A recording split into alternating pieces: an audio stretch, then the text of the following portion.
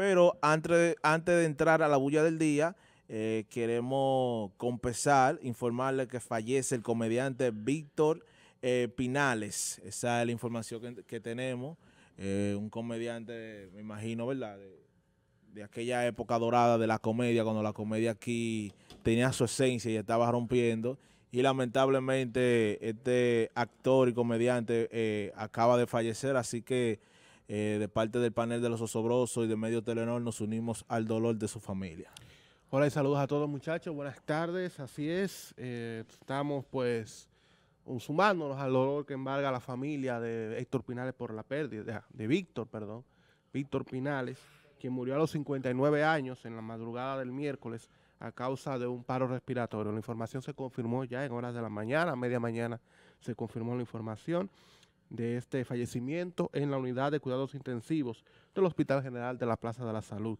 El comediante fue intubado en la noche del martes después de desarrollar una neumonía que afectó sus pulmones y lo que provocó otras complicaciones de salud.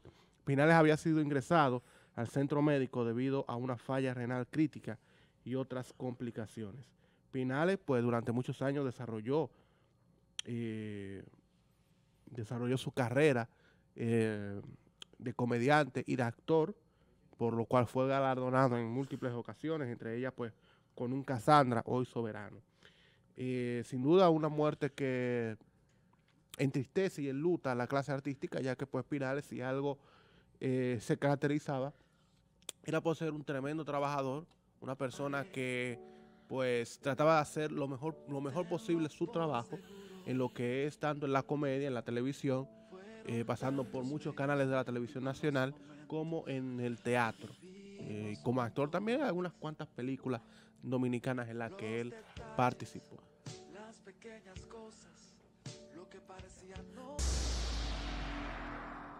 Ahí está la declaración de Graviela Melo para indicar entonces que ella es, o sea, una situación en la que ella pues decía que era la hija de este hombre en un momento determinado, pues... Sí, pero ¿qué eh, decían? Uno no puede dar por hecho bueno, te- mira, eh, Amable, nuestro productor Amable, que pues durante muchos años trabajó allá en Santo Domingo, pues creo que nos puede indicar un poquito más sobre esta historia que envuelve a estas dos personas que, res- que salió a relucir ahora en medio de esta situación de salud que lamentablemente pues Amable, a venga, la baje. de eh, Víctor vamos a darle un micrófono para que usted hable ante el jurado. Bueno, eh, sí, saludos muchachos, ¿cómo están? ¿Todo bien? Bien. Eh, bueno, yo que fui compañero de Víctor eh, en su época, cuando estaba Sheila Acevedo y Leo Roa, eh, sí, y también Rubio Charlie, me tocó ser director de la Zona de la 12. Y sí, yo lo puedo confirmar de que ella es su hija. Ella era hija de Víctor Pinales. Eh, lo que pasa es que hay que decir la verdad y ser honesto. Víctor la negó, ¿entiende? Él nunca quiso buscarla, él la negó, abandonó a su madre, la abandonó a ella. Y bueno, ella nunca quiso perdonarla. El miércoles pasados, ella, o sea, él estaba ya en condiciones, ya que él sabía que, bueno, como dicen, estaba más para allá que más para acá. Y la mandó a buscar y nunca quiso asistir a la Plaza de la Salud donde él estaba interno. Ella no quiso perdonarlo, nunca lo perdonó, aún trabajando en el mismo Canal 13, Telecentro y Digital 15, ambos, él en la opción del 13 y ella, bueno, también como conductora, nunca se hablaron, ella nunca lo perdonó, aún le digo, estando en esta situación porque él la negó. Incluso, ella se llama Gabriela Melo porque es el apellido de su madre. ¿Te entiende? No. Gabriela Pinales.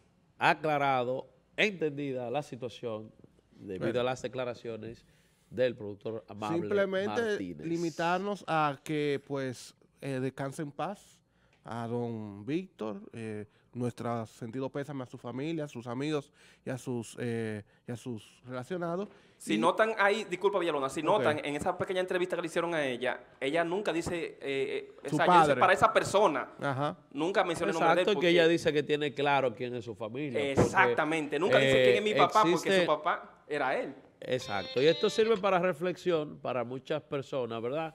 Que tengan claro que el hecho de que usted lleve la misma sangre de otra no significa necesariamente que sean familia. Familia es algo de convivencia donde usted tiene que estar siempre en armonía con esa persona desde siempre en su momento, porque eh, al fin y al cabo, yo lo digo siempre, la vida pasa factura, señores, y usted no sabe ya cuando le esté faltando, le esté cobrando la factura, usted ya en el ocaso de su vida eh, sería lo más difícil, lo más doloroso, que usted quiera enmendar aquellos errores que usted cometió cuando joven y que tuvo tanto tiempo en su vida para arreglarlo. Eh, muchas familias están pasando por esta situación. La joven está en su legítimo derecho porque soy de los que entiendo que usted tiene una actitud, se le respeta su actitud, entonces en, en momentos dados usted tiene que respetar la mía también. Usted se alejó, usted decidió tomar distancia, felicidades, ¿verdad? Espere el cheque. Cuando el cheque llegue, usted sea responsable de pagar y punto. O sea, yo no le veo nada de malo a eso. Yo sé que yo conociendo cómo se manejan los medios en Santo Domingo, sabemos que a esta pobre muchacha le están dando con la tabla. Eso lo sabemos, que, que no sé qué raro, no han empezado a pedir la crucifixión de ella. No, bueno, en las redes sociales a ella se la estaban Ah, comiendo. Exacto, sabes, la gente, pero, porque la gente lo que pero- más le gusta es hablar de cosas que no pero sabe. No las sabe, figuras de los medios de- en la capital han sido muy respetuosas en este caso y Que con debe esta ser, situación. como debe ser. Y por tanto, pues lo que nosotros vamos a pedirle a nuestro público, y, ¿verdad? Es eso, respetar esa situación eh, privada y simple y llanamente, pues ya ellos, a ver, entonces ya lo dejaron hasta ahí, ya. Así que nada, pasa su alma.